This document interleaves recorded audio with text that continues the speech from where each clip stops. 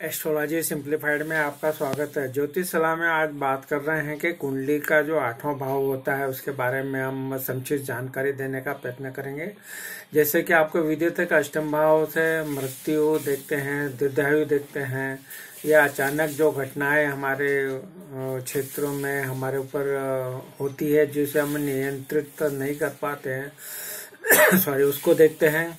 इस तरह से जीवन की जो घटनाएँ होती है, उसको यहाँ से देखा जाता है और किस किस तरह की मृत्यु आपकी होगी, वो संभावित किस तरह के कारण हो सकते हैं, उसको देखा जाता है। और ये कालपुरुष की जो आठवीं राशि है वृश्चिक राशि है, जिसे कि रहस्य की राशि भी कहा जाता है कि यहाँ पे जो आपकी महत्वाकांक्षाएँ वगैरह जो है, उसको भी देखा जाता है। मंगल जो है, इसका प्राकृतिक कारक हुआ। तो मंगल को यहाँ प्राकृतिक कारक के रूप में लेंगे क्योंकि आठवें भाव का स्वामी जो है वृश्चिक राशि का मंगल है। यहाँ बृहस्पति और सूर्य की जो स्थिति बनती है तो वो उनके लिए ये अच्छा घर बताया गया है। तो इस तरह से आप इनको ऐसा भी देख सकते हैं। यहाँ जो ट्रांसफॉर्मेशन वगैरह जो रहता है, उसके लिए देखा जाता है कि जब भी आपके जीवन में बदलाव जो आता है, जब भी इसकी दशा चालू होती है तो आपको अचानक आपका बदलाव आप में देखा जाएगा और उसमें ट्रांसफॉर्मेशन होगा आपका। इस तरह से इसको देख सकते हैं।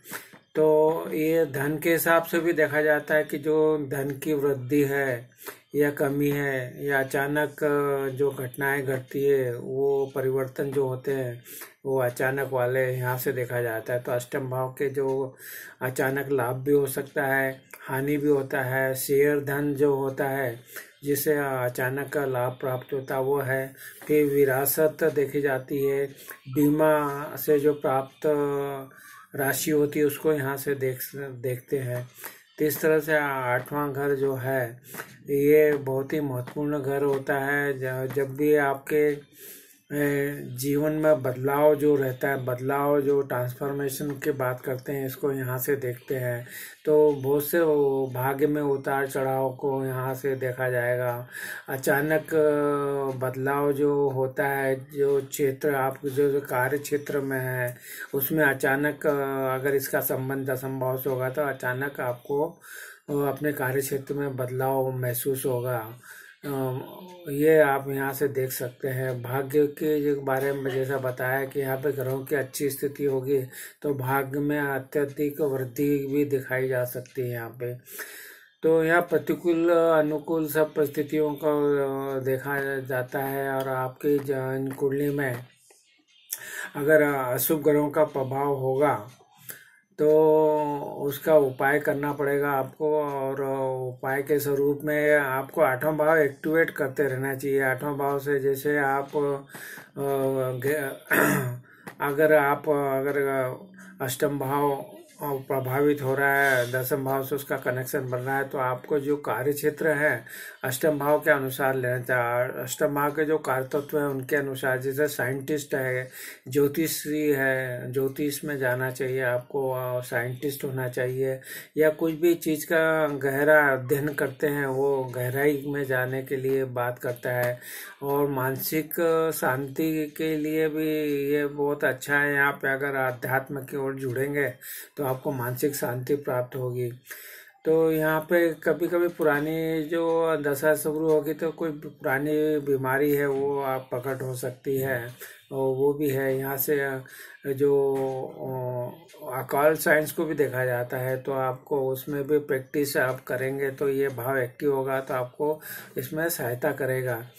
तो आपराधिक, जो दंड है, सजा है, या जो कानून कोई जो अष्टम भाव अगर प्रभावित होता है तो आपको जो सीबीआई और इस तरह के जो क्षेत्र है गवर्नमेंट के, उसमें आपको जॉब करना चाहिए, जिससे उसका सही रिज़ल्ट आपको प्राप्त होगा।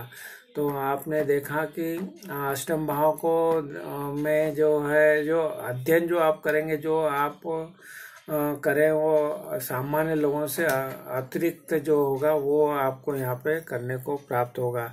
तो आपको इस तरह से आप देख सकते हैं अपनी कुंडली में कि आठवां भाव एक टू है तो आपको शोध कार्य करना चाहिए, खनन में जाना चाहिए, खनिज में, पुरातत्व विभाग में।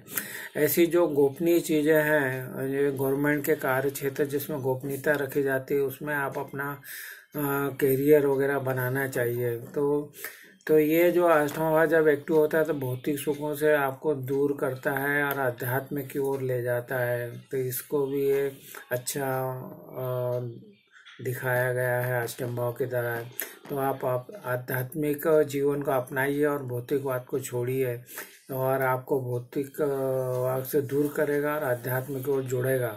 तो अष्टम भाव जो एक्टिवेट होगा तो आप अध्यात्म में ज़रूर जाइए, जिससे कि अष्टम भाव से जो भी निगेटिव इफ़ेक्ट हैं, वो आपको नहीं प्राप्त होंगे। तो इस तरह से आपने जाना कि आपके कुंडली में अष्टम भाव एक्टिव है अष्टम भाव की दशा चल रही है, और उनका जिन भावों से संबंध हो रहा है, उनके कारकत्व को अपनाएँगे तो आपको विशेष लाभ प्राप्त होगा, और अष्टम भाव के जो निगेटिव इफ़ेक्ट हैं, वो कम प्राप्त होगी। तो यहाँ से आप अपने कुंडली में जो हमने बताया वो लगा के देखिए और जब भी अष्टम भाव की दशा चलती है तो यो आप अपने कुंडली में अच्छी जानकारी देख के कि किस तरह से उसका आप अपना जीवन उपयोग कर सकते हैं और अच्छे रिज़ल्ट प्राप्त कर सकते हैं। आपको विस्तृत तो वीडियो देखना चाहते तो हमारी जो चैनल स्टाइल सिंप्लीफाइड व उपलब्ध वीडियो का भी लाभ उठाइए। आपको हमारी चैनल पसंद आ रही है तो हमारे चैनल को भी सब्सक्राइब कीजिए, वीडियो को लाइक कीजिए शेयर कीजिए। आपने हमारे चैनल को सब्सक्राइब किया, वीडियो को लाइक किया शेयर किया, इसका आपका बहुत बहुत धन्यवाद।